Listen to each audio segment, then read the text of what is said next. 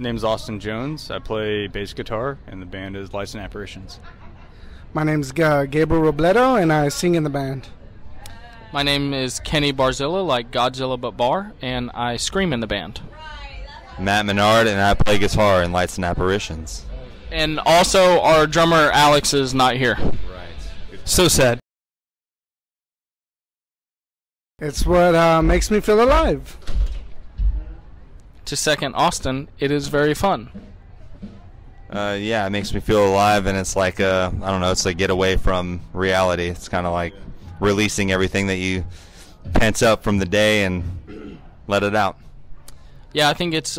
I also think it's an escape from reality, and it's a release. We uh, have a lot of really different influences from like R&B to like heavy to like I'm a Hispanic, so I listen to a lot of Spanish music, and a lot of Spanish music also comes into play with all this that we do. I will also say, like, yeah, so our guitarist Matt and our bassist Austin, like, their kind of influences are very different from me and Gabe's. So even just the way they do like the guitar parts or the bass parts is very like in line with their influences. So it kind of adds that extra kind of oomph to us. So, uh, Lights and Apparitions comes from uh, one of my favorite songs from a band called uh, Hands Like Houses. It's uh, they have a song called uh, Lion Skin, and there's a verse that really uh, spoke to me. So um, I ended up naming it Lights and Apparitions because one verse has uh, lights in it, and then the second verse has apparitions in it. And I was like, you know what? Those words kind of come into play very well, and yeah, it worked out.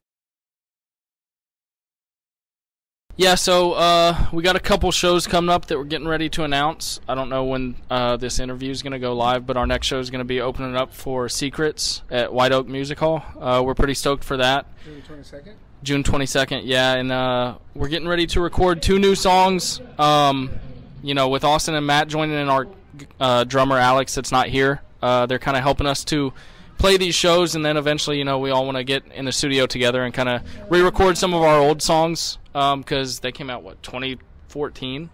So we're gonna kind of just try to update everything with uh, our new guys and you know make it kind of more of a modern sound.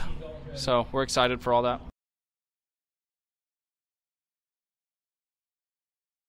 Uh, I'm just glad that uh, these guys are letting me jam with them. It's been a lot of fun, and uh, yeah, have a good time hanging out with uh, with all the dudes. So good time.